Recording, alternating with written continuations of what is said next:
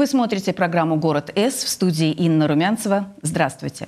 С 6 по 8 сентября Самара празднует свое 438-летие. Поэтому сегодняшний выпуск мы решили посвятить нашему городу.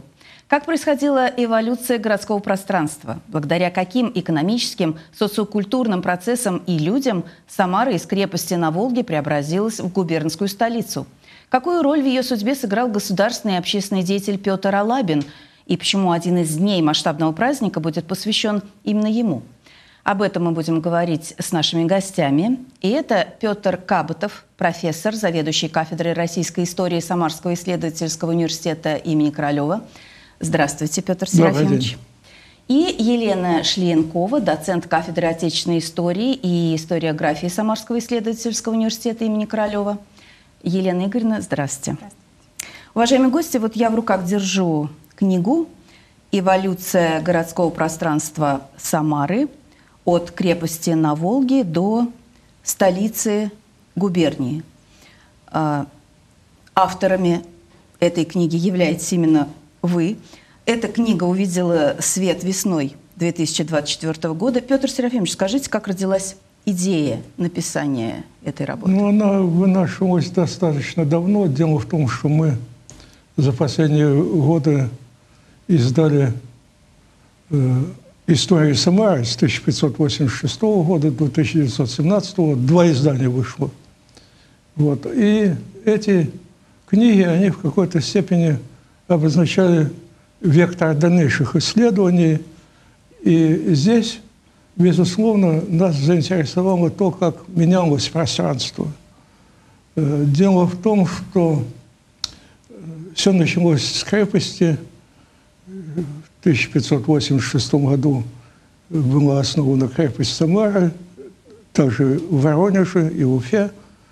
И затем э, функции менялись этого поселения.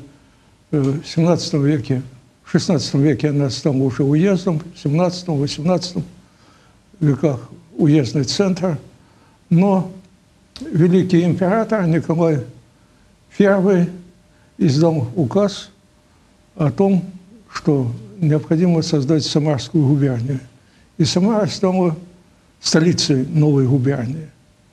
И вполне естественно, это придало очень мощный импульс развитию городского пространства. Но вдобавок ко всему здесь ситуация складывалась так, что в 30-е годы XIX века стали запахивать степные массивы в Заволжских степях, это в Николаевском, Новоземском уездах, Бузулукском, Бугоросланском, и высевали такую замечательную пшеницу э, белоторка. Белоторка – это пшеница твердых сортов. Из нее обычно изготавливали муку э, высочайшего качества. Вот. И вот то, что земли запахивались, и получались очень высокие урожаи, создавала возможность приступить к строительству. Причем строительство шло э, таким образом, что создавались уникальные архитектурные комплексы. Ну и в то же время мы видим, что э, центр, административный центр, он постоянно движется все дальше и дальше. То есть пространство меняется. Сначала это район нынешней Хлебной площади, там, где была крепость. Затем э, улица э, Толстого Алексея Николаевича. Затем э, уже речь идет о бывшем Белом доме, там, где находится э, драматический театр. Так. И в конечном счете уже в 20 веке в конце 20 века мы видим строительство Белого дома на площади Славы. То есть вот это удивительно, но факт.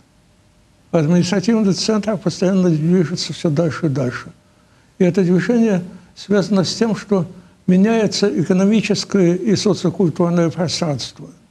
Оно преобразуется, оно становится совершенно иным. Поэтому э, вот это очень интересное явление, и это явление связано прежде всего с людьми. Вообще я как-то э, губернатору новому сказал, что главная ценность у нас, в нашей области, это прежде всего люди, так, и историческое поселение, исторический центр. Это вариант невиданной стоимости. То есть э, вот это главное богатство наше. Это безусловно. Но вот посмотрите, реконструировать городское пространство Самары с момента основания крепости еще Самары до э, ее состояния столицы губернии, то есть до начала 20 века, это ведь, я полагаю, непростое дело. Как долго вы работали над этой книгой? Ну, работа над книгой началась, наверное, еще а, когда только вот мы с Петром Серафимовичем познакомились. А, так получилось, что Петр Серафимович был научным руководителем моим, начиная с бакалавриата, угу. затем магистратура, аспирантура, соответственно. И вот э, сейчас мы пришли к этой книге. Восемь Петр... лет. Восемь лет.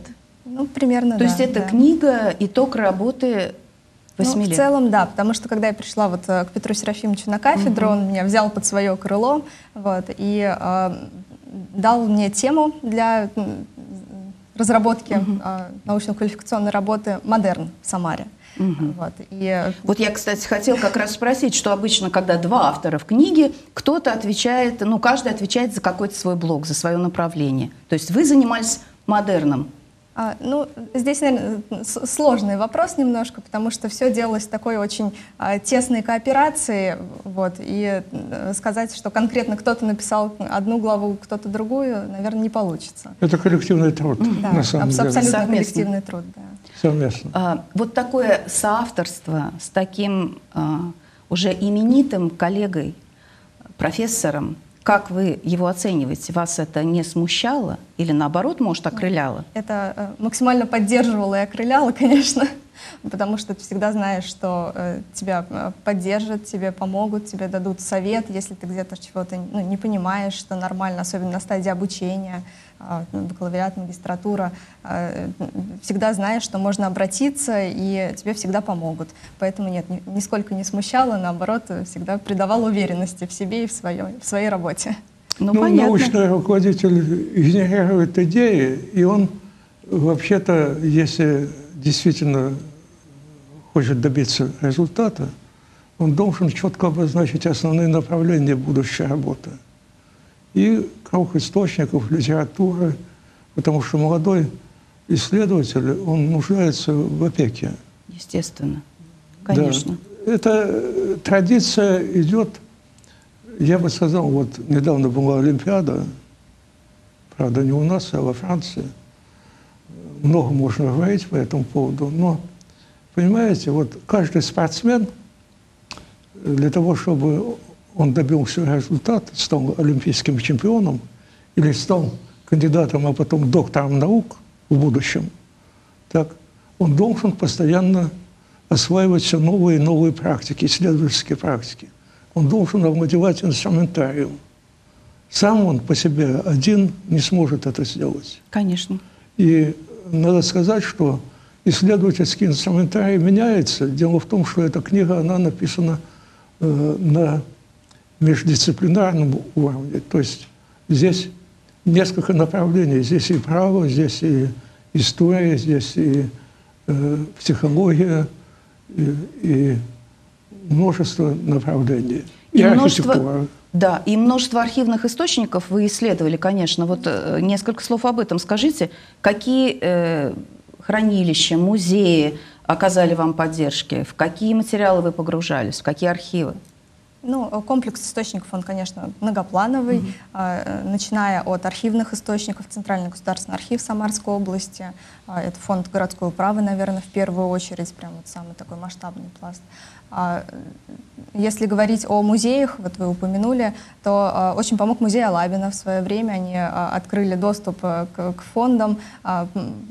Там оказалось много замечательных карт Самары, облы, ну, губернии. Вот, поэтому тоже очень помогли. Использовалось много периодических изданий. Самарская газета. Здесь, наверное, библиотека в помощь фонд, отдел редкой книги где хранятся как раз вот дореволюционные издания, и э, нужно было прошерстить вот такой большой пласт периодических изданий, чтобы понять, как э, современники вот, э, в книге э, этого периода видели город, э, как они его описывали, как они относились к действиям властей. Это же выливалось в первую очередь в местную прессу. Э, вот, поэтому ну, уникальными такой. источниками, конечно, являются прежде всего книги Алабина «20-летие Самары как Увярского города». Это энциклопедия на самом деле. Ну и, конечно, картотека Головкина.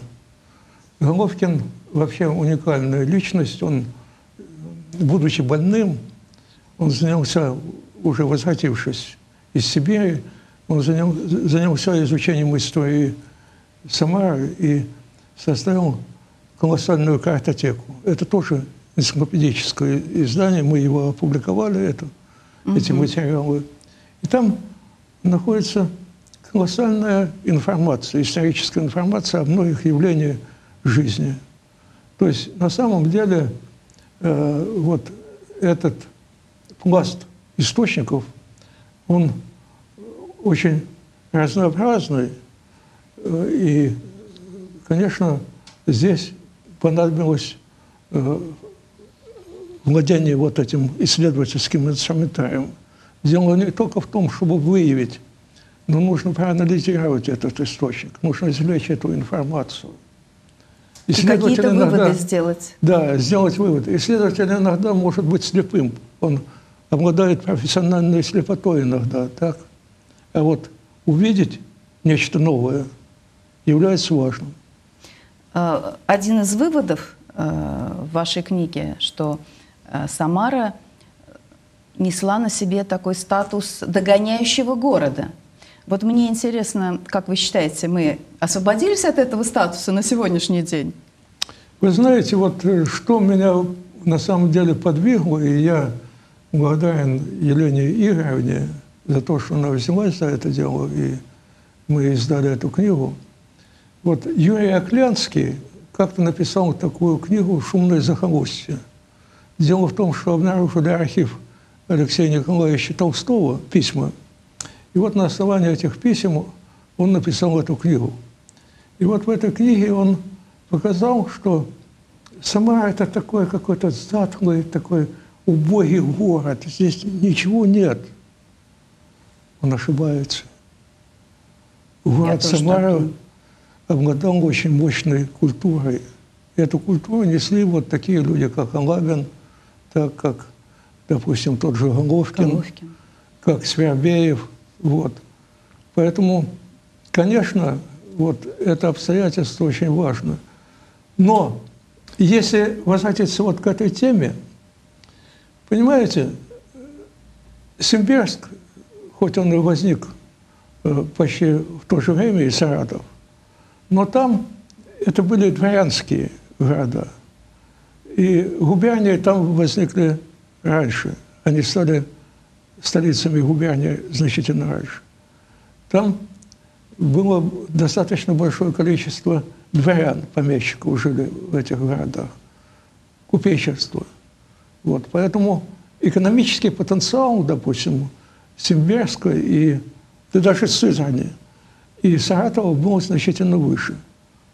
Но они отставали, допустим, от Казани. Потому что Казань, ну, это город с богатыми традициями, культурными, экономическими и так далее. Поэтому Самара должна была догонять. И вот случился очень резкий скачок. И вот этот скачок случился, и Елена Игоревна расскажет, почему он случился. Да, почему, благодаря каким процессам Здесь на самом деле комплекс факторов. Это, э, во-первых, и великие реформы, которые произошли, э, которые э, выпустили на волю такую большую массу крестьян, которые начали идти в город, в том числе на заработки. За счет этих крестьян начинает развиваться активно городское пространство, в том смысле, что стихийная застройка начинается. Это вот один из факторов. А, также технический прогресс, безусловно, железная дорога, а, вот, э, водные пути сообщения. А, Все это позволяет э, вот, э, произвести вот этот вот сильнейший скачок. А если говорить вот про статус догоняющего, то я бы здесь хотела дополнить, что, возможно, именно этот статус догоняющего города придает Самаре такую изюминку. Потому что Саратов, Симбирск, как вот Петр Серафимович отметил, они с такой очень сильной аристократической составляющей развивались. Там преобладает в облике старого города классицизм в первую очередь, вот, с его строгостью, величественностью. А в Самаре такой а, сильной аристократической э, дворянской составляющей а, не было. А, и когда... Ну да, вы в книге пишете да. об эклектике. Да, и как раз когда происходит вот этот вот экономический скачок, когда городу уже пора развиваться, нужно куда-то двигаться, в городе преобладает в первую очередь купечество, которое таким образом самовыражается. Ну, да. вот через вот эти вот новые тенденции, модные веяния с Э, из других стран, которые приходят, э, а в то время как раз была модна сначала эклектика, угу. а затем модерн, э, который вот мы сейчас активно наблюдаем в старом городе, и эклектику, и модерн сегодня... И гордимся этим. И, и, и стараемся сохранить я, красоту. Я да. хотел сказать вот еще. Понимаете, вот Самара с самого начала она напоминала вокзал. И здесь сюда приходили люди с разных уголков России. И здесь не было вот такой конкуренции. Почему проходили сюда купцы из верхних волжских городов? Потому что они здесь э, не испытывали вот такую большую конкуренцию со стороны других предпринимателей. Простор в экономической и хозяйственной деятельности. Но я хотел бы сказать и о власти. Вы понимаете, в чем дело? Вот тот же Лабин, допустим. Да и губернатор Город – так, Свербеев, Аксаков, другие губернаторы. Это люди, которые пришли к нам из других городов, из Центральной России. Там темпы экономической, культурной жизни были иными. И они своими идеями, своими инициативами, э, они в какой-то степени способствовали тому, что мы очень быстро смогли догнать Саратов и Симбирск. Угу. И даже обогнать. Ну да. А, в своей книге вы назвали Петра Алабина первым краеведом. Почему он? Вы знаете, вот если говорить об Алабине, да... Э, Я имею в виду первым краеведом Самары. Личность Алабина, она необычайна, и она меня всегда восхищала еще на студенческой скамье я удивлялся тому, как этот вот офицер, участник э, русско-турецкой войны, русско-турецкой войны, Крымской угу. эпопеи, Севастопольской битвы, так, для чего ему это нужно, вот это, занятие этим краеведением? Но Алабин вообще неординарная личность. Он личность разносторонняя. Чем он только не занимался. Он издавал книги для чтения детей, для детей. Он занимался изучением археологических памятников еще в Вятке. Он является одним из тех людей, который впервые открыл ананинскую культуру. Так он потом стал почетным членом археологического института. Он занимался и садоводством, и выращивал цветы. Он ну, был библиотекарь он попечительствовал и не только библиотеки, но и школ. То есть это разносторонняя личность.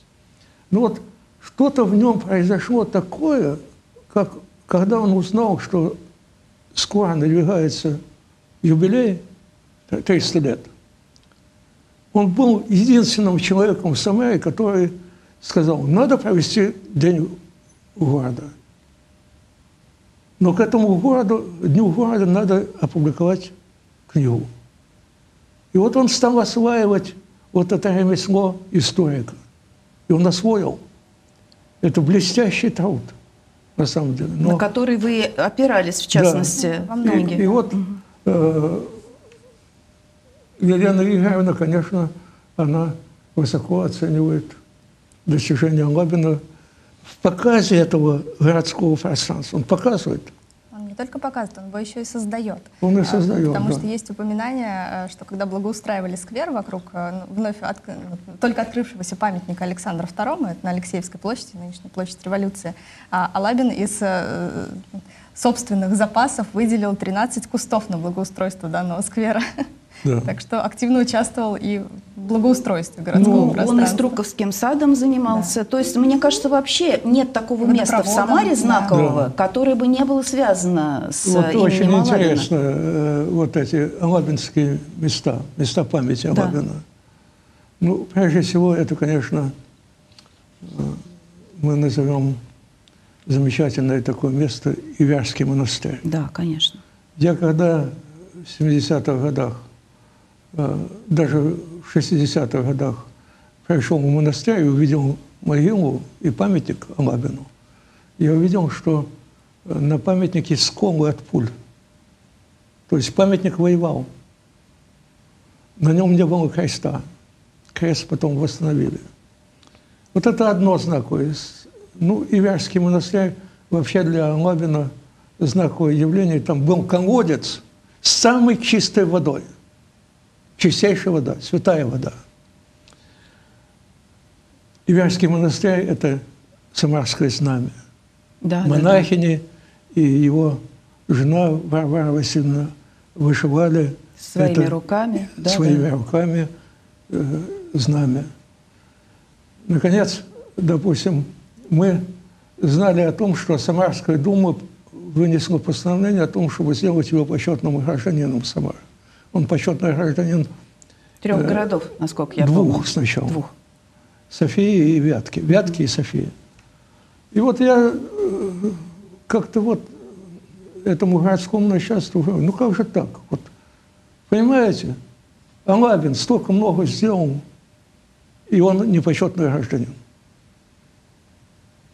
И вот, наконец, это восстановилось. Свершилось.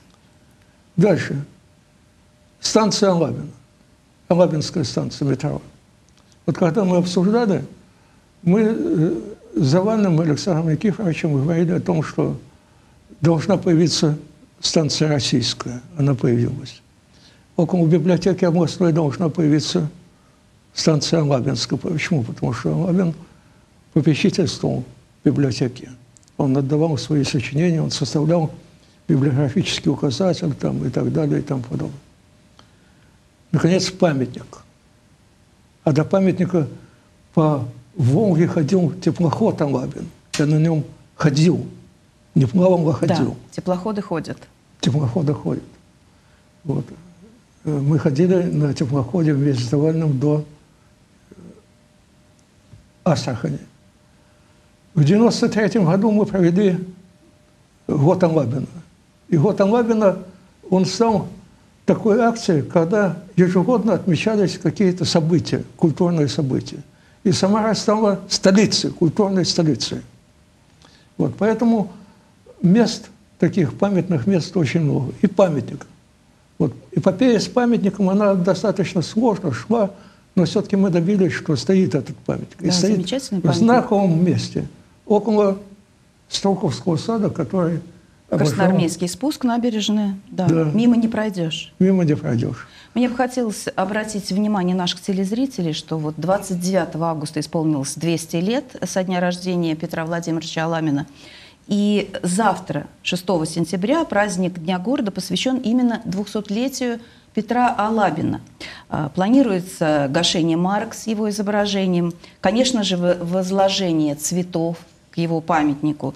И, конечно, я думаю, это очень важно, вот такая дань памяти такому выдающемуся человеку, нашему земляку. А, и один из дней города, еще раз повторюсь, да, посвящен именно а, памяти Алабина. А вообще для вас День города – это насколько значимое событие?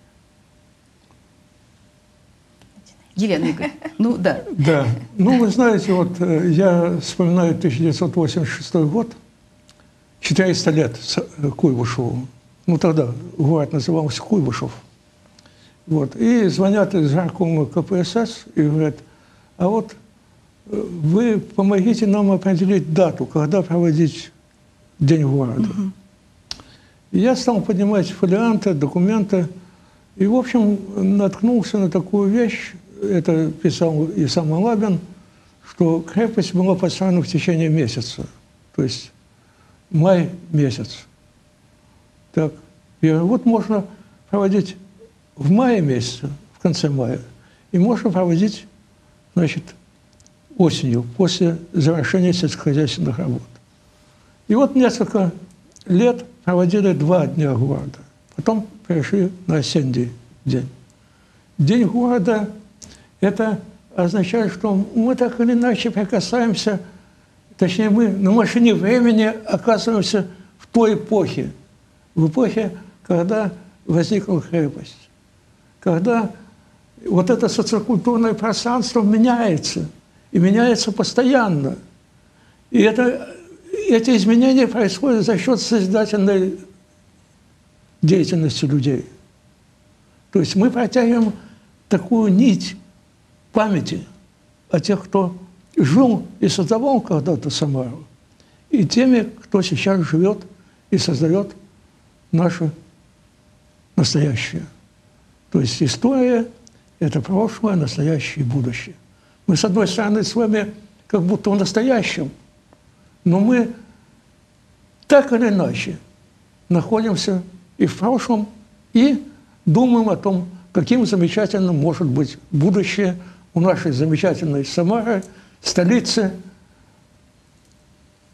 запасной, столицы космической, столицы нефтяной, столицы шоколадной, и где живут самые красивые девушки и женщины. У нас совсем мало времени остается. Я спрошу такой, задам вам вопрос. Пожалуйста, коротко э, ответьте мне на него. Вот все-таки это научная работа, и часто случается, что работая над э, книгой, рождается идея создания новой. Вот не случилось ли такого с вами? И если да, то можем ли ожидать, что появится новая книга о Самаре и чему вы посвятите ее? Ну, я думаю, что обязательно появится, потому что, в принципе, вот это историческое поле, оно только начинает осваиваться. Я бы сказал, что мы в будущем, видимо, займемся написанием истории Самары советского периода и вот, настоящего. Логичное продолжение. Я хотел да. как раз об этом тоже. Потому что здесь э, предстоит колоссальный объем работы. И причем я думаю, что э, участвовать в этой работе будут многие поколения. Вот сейчас вышла книга э, «Военная столица» Репенецкого. Эта книга посвящена Великой Отечественной войне, да? Но какой была Самара, допустим, после 17 года, довоенная Самара? Как Вы будете рассказывать тоже в своей книге. Да. У нас, к сожалению, нет больше времени. Вот подробно да. об этом поговорите. Елена Игоревна, вы готовы к работе Конечно. вот над таким материалом? Безусловно, готовы, потому что э, тема городского пространства, она, наверное, неисчерпаема. И всегда можно найти какие-то новые подходы, новые материалы. Тем более, что после Великой Отечественной войны, мне кажется, Самара получила новый импульс для развития. Да, конечно. Да, и городское пространство Самары опять значительно изменилось. Войны, Наше э, эфирное время, к сожалению, подошло к концу. Уважаемые гости, я благодарю вас за интересную беседу. Напомню, сегодня у нас в студии были Петр Каботов, профессор, заведующий кафедрой российской истории Самарского исследовательского университета имени Королева, Ильена и Елена Шлиенкова, доцент кафедры отечественной истории и историографии Самарского исследовательского университета имени Королева. Авторы увлекательной монографии «Эволюция городского пространства Самары от крепости на Волге до столицы губернии». Дорогие друзья, читайте эту интереснейшую книгу, празднуйте День города и помните о лучших людях Самары – на этом я с вами прощаюсь. До встречи в эфире.